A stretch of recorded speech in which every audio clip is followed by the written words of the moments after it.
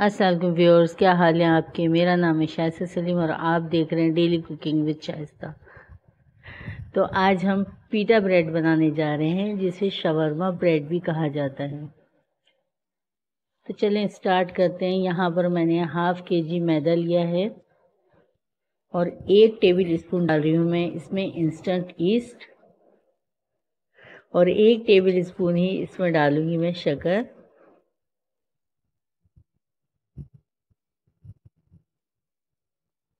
एक tea spoon नमक डाल रही हूँ और दो टेबल स्पून डालूँगी मैं कुकिंग ऑयल।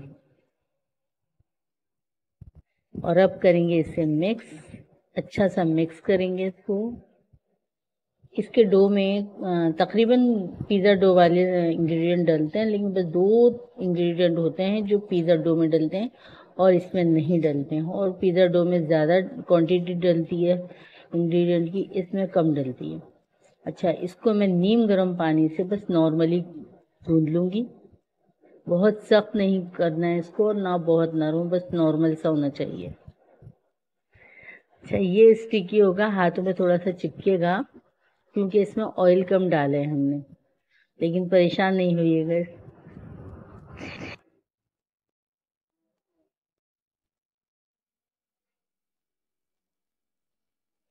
तो बस डो बन के रेडी हो गया है। मैं हल्की सी नमी दूँगी इसमें पानी की और इसमें फिनिशिंग दूँगी और एक घंटे के लिए, एक से डेढ़ घंटे के लिए इसको राइज होने के लिए रख दूँगी क्योंकि गर्मियाँ आ गई हैं तो ये फटाफट राइज हो जाएगा। बस अब इसको कवर करके थोड़ा सा ऑयल लगाऊँगी, कवर करूँगी और फिर मैं रख दूँगी एक से डेढ़ घंटे के लिए।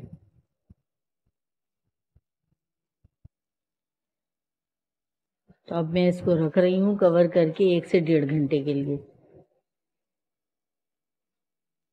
तो डेढ़ घंटा हो चुका है, आटा हमारा अच्छा सा राइज हो गया है। ये देखिए, बहुत ज़बरदस्त सा राइज हुआ ये। अच्छा अब मैं इसको निकालूँगी। निकालने के बाद इसके पेड़े बनाऊँगी।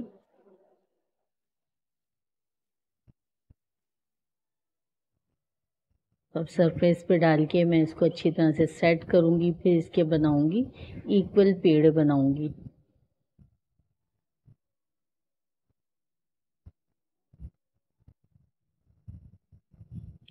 इस तरह से पार्टीशन करने में आराम से आपके इक्वल पेड़े निकल आते हैं, वरना फिर छोटे बड़े हो जाते हैं।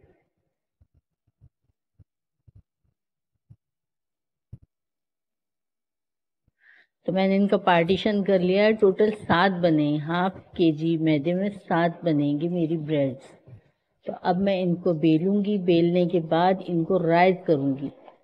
पेड़ों को राइज नहीं करना है, क्योंकि फ़ायदा ही नहीं है पेड़ों को राइज करने का। बहुत हल्के हाथ से लेकिन इनको बेलना है।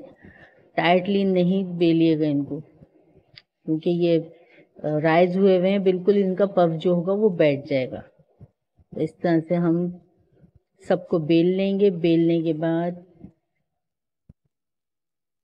इस तरह से हम साइड पे रखते जाएँगे और इनको कवर करते जाएँगे। किसी भी चीज़ से आप कवर कर लिएगा। मैं यहाँ पर ये जो मैंने रैपर उतारा था, इसी से कवर कर रही हूँ वापस।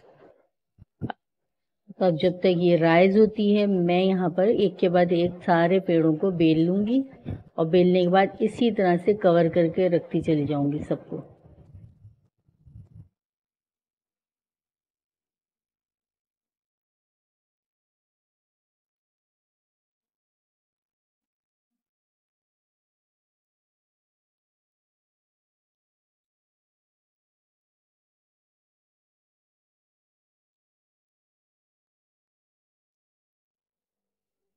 तो सारी ब्रेड्स मैंने बेल ली हैं। उसके बाद अब जो सबसे पहले मैंने बेली थी, वो उठाकर मैंने डाली तवे पे। तो मैं तवे पे बना रही हूँ। मीडियम लो आँच के ऊपर हम इसको बनाएँगे। तेज़ आँच नहीं करिएगा। आप देख सकते हैं इसके ऊपर बबल्स आ रहे हैं और ये राइज हो रही है। तेज़ आँच कर देंगे, एकदम से वो वहीं पर पक जाएगी और वो ख़त्म हो जाएगी। हल्के हल्के हाथ से इसको हम सेकेंगे। ताकत नहीं लगानी है बिल्कुल बिल्कुल हल्के हल्के हाथ से। सीखेंगे और कलर ज़्यादा नहीं लाने की ज़रूरत है इसके ऊपर। तो आराम से इस तरह से करके हम उतार लेंगे। तो यहाँ पर मुझे बताना ये था कि तवे पर आप आराम से बना सकते हो, ओवन की ज़रूरत नहीं होती है।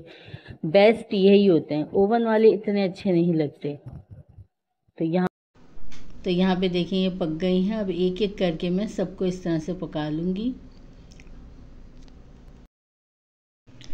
तो अब मैं इसको हल्का हल्का इस तरह से किसी भी कपड़े से, किसी भी चीज़ के सहारे आप, हम इसको सेक के मैं इसको रख दूँगी। अभी फ़िलहाल बताना मुझे ये था कि इसको हम सेव कर सकते हैं और इस इस इस तरह से सेक के हम इसे कवर करके फ्रिज या फ्रीज़र में आराम से तीन चार दिन ये रह जाएँगी।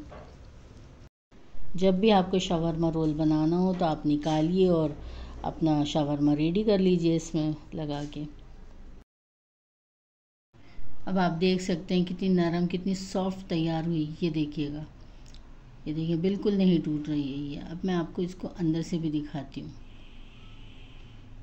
आप थिकनेस देखिए इसकी, कितनी सॉफ्ट है ये।